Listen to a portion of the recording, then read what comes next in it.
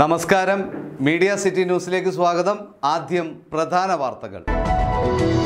Corona virus ബാധയേറ്റുന്ന സംശയത്തെ തുടർന്ന് Pathanamthitta general ആശുപത്രിയിലുള്ള രണ്ട് വയസ്സുകാരി ഉൾപ്പെടെയുള്ള ഇരുപത്തിനാല് പേരുടെ പരിശോധനാ ഫലം ഇന്ന് ലഭിക്കും.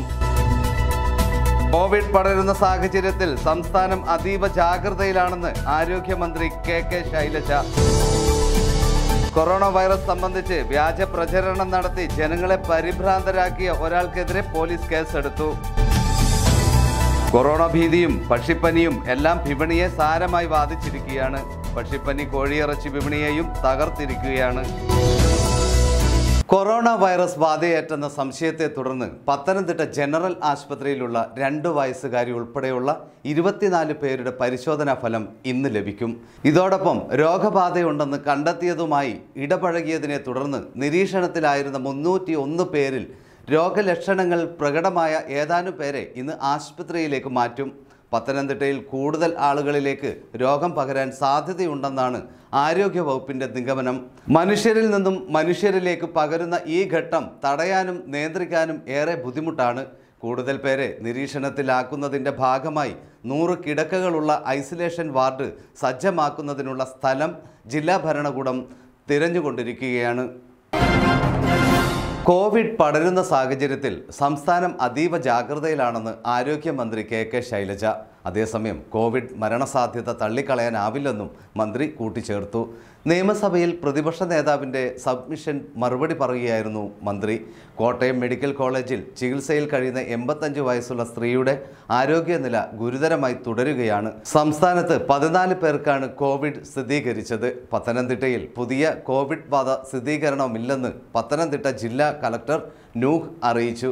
പരിശോധനയ്ക്ക് അയച്ച പന്ത്രണ്ട് രക്തസാമ്പിളുകളുടെ ഫലം ഇന്ന് ലഭ്യമാകും. വീടുകളിൽ നിരീക്ഷണത്തിലുള്ളവർ പുറത്തിറങ്ങിയാൽ കർശന നടപടി സ്വീകരിക്കും ജില്ലയിൽ. തൊള്ളായിരം ആളുകളാണ് ഇപ്പോൾ വീടുകളിൽ നിരീക്ഷണത്തിൽ കഴിയുന്നത്. ഇരുപത്തെട്ട് ആളുകൾ ആശുപത്രികളിലുമുണ്ട്. കൊറോണ വൈറസ് സംബന്ധിച്ച് വ്യാജ പ്രചരണം നടത്തി ജനങ്ങളെ പരിഭ്രാന്തരാക്കിയ ഒരാൾക്കെതിരെ പോലീസ് കേസെടുത്തു. ചെർപ്പുളശ്ശേരിയിൽ കൊറോണ ഉണ്ടെന്നായിരുന്നു പ്രചരണം. ചെർപ്പുളശ്ശേരി പോലീസാണ് കേസെടുത്തത്. വാട്സപ്പിലൂടെയാണ് ഇയാൾ വ്യാജ വിവരം പ്രചരിപ്പിച്ചത്. ചെർപ്പുളശ്ശേരിയിലെ സ്വകാര്യ ആശുപത്രിയിൽ കൊറോണ ബാധിച്ച ഒരാളുണ്ട്. അതുകൊണ്ട് ആ പ്രദേശത്തേക്ക് പോകരുത് എന്ന സന്ദേശമാണ് ഇയാൾ ഗ്രൂപ്പുകളിൽ അയച്ചത്. നേരത്തെ കൊറോണ വൈറസ് ബാധയുമായി ബന്ധപ്പെട്ട് വ്യാജ വാർത്ത പ്രചരിപ്പിച്ച കേസിൽ ഹരിപ്പാട് പിലാപ്പുഴ സ്വദേശിയെ പോലീസ് അറസ്റ്റ് ചെയ്തിരുന്നു. ഭീതി പരത്തുന്ന വിധം സന്ദർശനം പ്രചരിപ്പിച്ചു എന്ന വകുപ്പ് ചുമത്തിയാണ് അറസ്റ്റ് ചെയ്തത്. നേരത്തെ സംസ്ഥാനത്തിന്റെ വിവിധ ഇടങ്ങളിൽ സാമൂഹ്യ മാധ്യമങ്ങളിലൂടെ വ്യാജ വാർത്ത പ്രചരിപ്പിച്ചതിന് നാലോളം പേർക്കെതിരെ കേസെടുത്തിരുന്നു. കൊറോണ ഭീതിയും പക്ഷിപ്പനിയും എല്ലാം വിപണിയെ സാരമായി ബാധിച്ചിരിക്കുകയാണ്.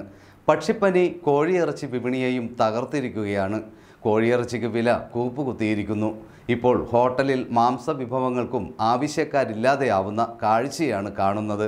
എന്നാൽ ഡിമാൻഡ് ഏറ്റുന്ന ഒന്നുണ്ട്. അത് നല്ല നാടൻ ചക്കയ്ക്കാണ്. ഉത്തരേന്ത്യയിലാണ് ചക്കയ്ക്ക് പ്രിയമേറുന്നത്. വിലയും വല്ലാതെ ഉയരുന്ന സാഹചര്യമാണുള്ളത്. ലക്നൌവിൽ ഇപ്പോൾ ഒരു കിലോ ചക്കയുടെ വില നൂറ്റി ഇരുപത് രൂപയായി ഉയർന്നിരിക്കുകയാണ്. സാധാരണ പരമാവധി അമ്പത് രൂപ വരെയായിരുന്നു നഗരത്തിൽ ഒരു കിലോ ചക്കയുടെ വില. ഇതാണ് പൊടുന്നനെ മാത്രമല്ല ആവശ്യം ഏറിയതോടെ വിപണിയിൽ ചക്ക കിട്ടാനില്ലാത്ത അവസ്ഥയായെന്നും നാട്ടുകാർ പറയുന്നു. പ്രധാന വാർത്തകൾ ഒരിക്കൽ കൂടി. കൊറോണ വൈറസ് ബാധയേറ്റുന്ന സംശയത്തെ തുടർന്ന് പത്തനംതിട്ട ജനറൽ ആശുപത്രിയിലുള്ള രണ്ട് വയസ്സുകാരി ഉൾപ്പെടെയുള്ള ഇരുപത്തിനാല് പേരുടെ പരിശോധനാ ഫലം ഇന്ന് ലഭിക്കും. കോവിഡ് പടരുന്ന സാഹചര്യത്തിൽ സംസ്ഥാനം അതീവ ജാഗ്രതയിലാണെന്ന് ആരോഗ്യമന്ത്രി K K Shailaja.